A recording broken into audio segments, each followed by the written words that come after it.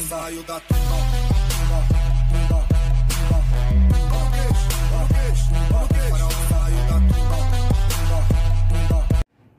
Fala aí pessoal, sejam todos bem-vindos no canal JR Pipas Artística. Hoje pessoal, a gente vai estar aprendendo a fazer uma folha para uma pipa latão de 70 centímetros. Eu vou usar esses materiais aqui, ó, lápis, canetinha preta, essa minha régua de aço que mede 2,8 centímetros. Vou usar também essa outra régua aqui, ó. Na verdade eu achei essa plaquinha na rua. Ela está medindo 5 centímetros de largura. Para fazer o nosso molde eu vou usar esse retângulo aqui medindo 17,3 centímetros por 16 centímetros. Vou dividir essa medida aqui no meio. Já fiz as marcações de divisão, só vou dividir com lápis. Só para ele ficar marcado aqui mesmo. Vou forçar um pouco ele para vocês verem a linha. Agora eu vou fazer com a canetinha, nossa canetinha preta, vou fazer marcação de 5 centímetros desse canto do retângulo para cima, desse canto do retângulo para baixo eu vou medir 5 centímetros também. Mesma coisa vai ser feito do outro lado aqui, ó. Dessa ponta do retângulo para baixo 5 centímetros, daqui de baixo para cima 5 centímetros. Depois eu só vou ligar essas pontas da marcação dos 5 centímetros até a linha, a marcação do meio. Bora lá fazer a marcação de 5 centímetros. Tanto nessa parte aqui de baixo, ó, de baixo para cima marquei 5, de cima para baixo vou marcar 5 centímetros também. Vamos repetir o passo do outro lado aqui, ó, de baixo para cima marquei 5 centímetros, de cima para baixo vou marcar 5 centímetros também. Só vou ligar esses pontos e só ir usando já a canetinha. Vou ligar os pontos, só vou reforçar esse lado aqui. E bora ligar os pontos, ó. Do meio, vou puxar para a marcação de 5 centímetros. Vamos repetir desse outro lado, a marcação de 5 centímetros. Do meio, a gente puxa até ela. Vou reforçar essa parte aqui, ó. Que está em vermelho. Da marcação de 5 centímetros, a gente vai puxar para o centro aqui do nosso molde. Já está pratica, praticamente pronto, né? A gente vai pegar nossa régua, nossa plaquinha de 5 centímetros. Vou posicionar ela no canto aqui dessa linha. Coloquei lá no canto da linha. Vou fazer da marcação do centro do molde até a marcação dos 5 centímetros aqui embaixo. Ó. Só vou inverter a régua, colocar ela rente a essa linha. Coloquei rente a linha. Vou fazer a marcação do centro aqui do molde, a marcação que a gente fez com lápis. Vou puxar aqui para os 5 centímetros. Só vou reforçar aqui e o molde ficou pronto.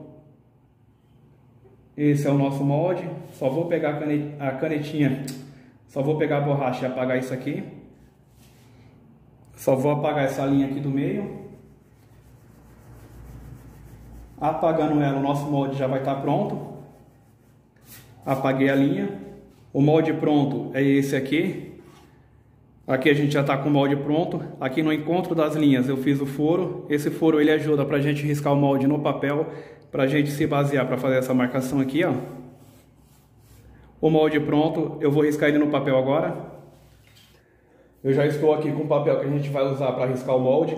Esse papel ele vai ser para uma latão de 70 centímetros. Ele está dividido no meio também, ó. Eu prendi esse papel aqui para ele não ficar correndo na mesa. Ele só está preso com durex nas pontas.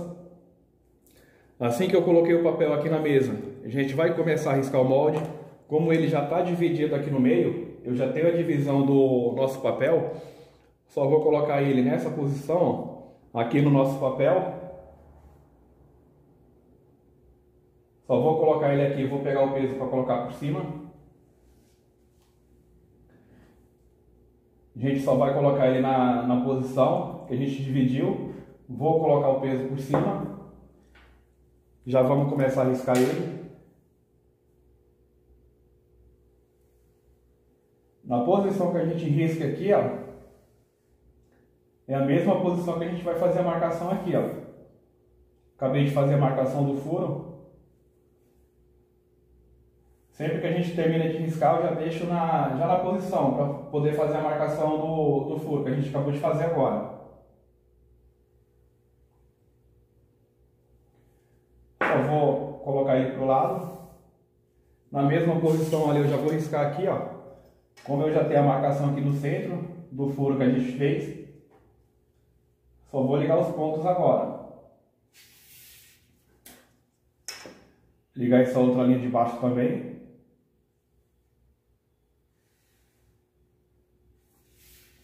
Essa outra de cima. Aí a gente volta a riscar o molde de novo. Essa parte foi feita já, ó.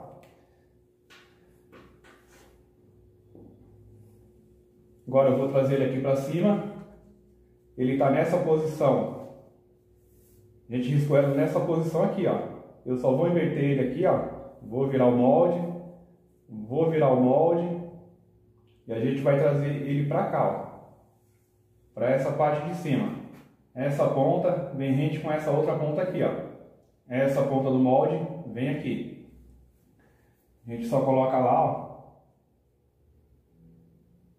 Ponta com ponta. Coloca o peso de novo. E bora arriscar.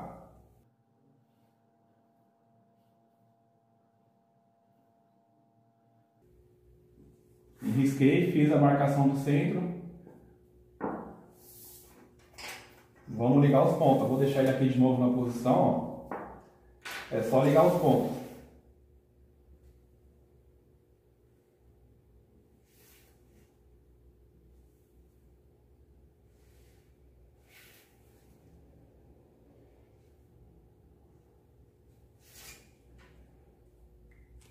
Vamos lá de novo, ó. Tá nessa posição. Eu vou virar ele de novo. Aqui, ó. Tô virando. Risquei nessa posição. Aqui em cima. Só vou virar ele, ó. Vou trazer ele para cá. Essa ponta vem rente com essa daqui, ó. Essa ponta rente com essa daqui. A gente posiciona ele de novo. Ponta com ponta. Traz o peso para cá. Bora arriscar. Esse vai ser processo repetitivo. Eu vou fazer ele em todo o papel. Até preencher ele todo. Só vou riscando o molde. Sempre mudando o ângulo dele e a posição dele. Vou deixar ele no canto aqui de novo.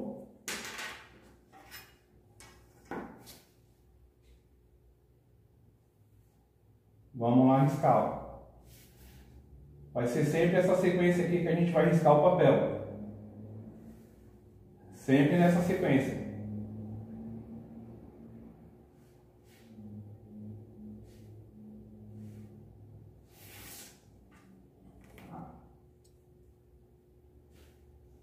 Essa ponta aqui vai vir para essa outra ponta aqui de cima. Só encaixar ela aqui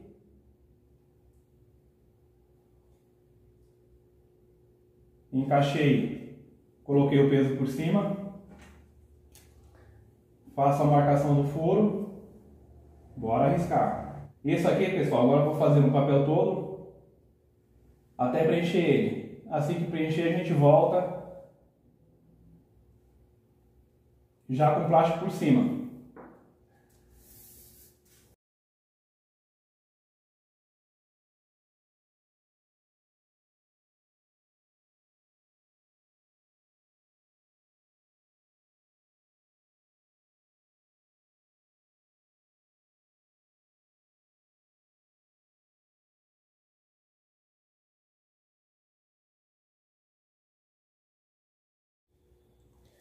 Já risquei todo o nosso papel, agora é só a gente aplicar a folha de seda, montar o nosso papel de hoje. Já estou também aqui com as folhas já cortadas, todo em faixa. Essa faixa preta aqui do final, ela está medindo 3,7 centímetros. Azul escuro e esse azul médio está medindo 8,8 centímetros.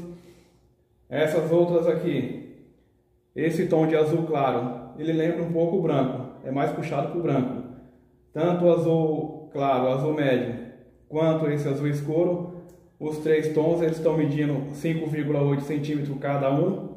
Eu tenho quatro faixas de cada cor, tanto desse lado quanto desse outro lado aqui também, são quatro faixas.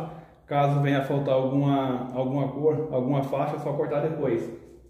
Para mim saber a medida da faixa que eu vou cortar, eu só coloco a régua aqui, ó, vejo a largura que eu vou estar tá usando da faixa e só cortar. Aqui ele está medindo 5,6,7, cortei um milímetro a mais, 5,8. Esse aqui é o mesmo esquema, só colocar a régua aqui e ver a largura da faixa que eu vou estar tá cortando. Com as faixas aqui ela já cortada, só vou tirar ela aqui de cima do plástico e já vamos começar a aplicar. Vou aplicar nessa sequência o azul claro, azul médio, escuro. Vou finalizar com esse tom de preto. Vou começar passando cola na linha do desenho. Esse papel que eu estou usando é aquele papel que a gente compra o centro da folha de seda. A folha de seda normalmente vem nele, né? aquele plástico transparente. É esse mesmo plástico que eu estou usando aqui. Passei a cola, vou aplicar a folha. Tem algumas folhas que eu corto por cima aqui do plástico. Passo o estilete por cima do plástico. Conforme eu vou passando, né? Tem algum lugar que ele acaba rasgando. Cortando, na verdade, né? Quando acontece isso aí, eu só passo a... Passo o estilete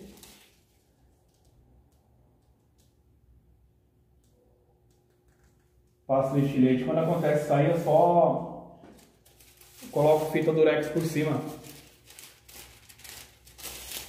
Só para cobrir a parte onde cortou com o estilete.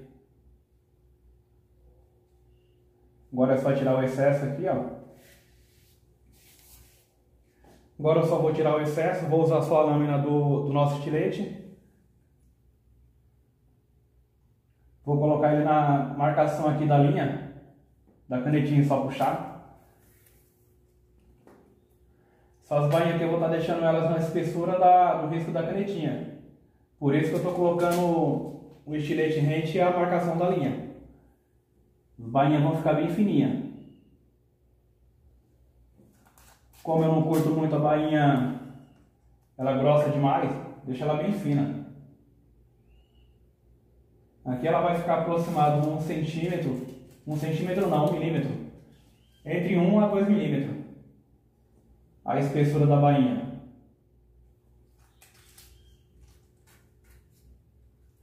Agora eu vou continuar aplicando esse tom de azul claro o azul médio e já volto com vocês.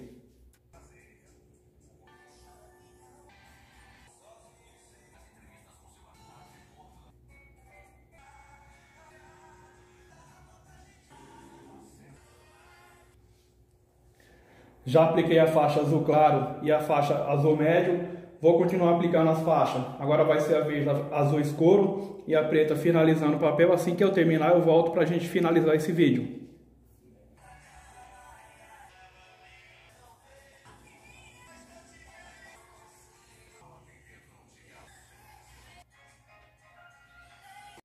Tá aí pessoal, o nosso papel ele ficou pronto, ficou um resultado super top, particularmente eu gostei do resultado final desse papel. É um papel bem simples, super tranquilo para a gente estar tá fazendo. Eu usei somente essas quatro cores aqui que vocês vê. Uh, o tom de azul claro, azul médio, azul escuro, o preto eu finalizei o papel. Não demorei muito para fazer essa folha aqui, foi mais ou menos uns 30, 40 minutos para fazer ela.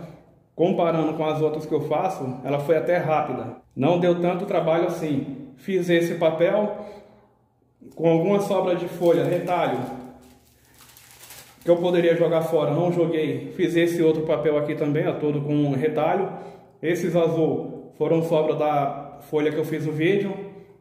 Eu consegui fazer essa folha aqui, ó. Usei essa sobra de azul, mas esses outros retalhos. Verde bandeira, verde limão, verde musgo, laranja fluorescente, amarelo fluorescente, vermelho esse tom marrom avermelhado, um tonzinho de pele, esse rosa todo retalho, eu sempre vou guardando, consegui fazer essa folha aqui, todas essas folhas são para latão de 70 centímetros, é isso aí pessoal, aqui está o nosso trabalho, o nosso resultado do vídeo tutorial de hoje, espero que vocês tenham gostado, bora lá preparar o material do próximo vídeo, até a próxima, falou, tchau e fui!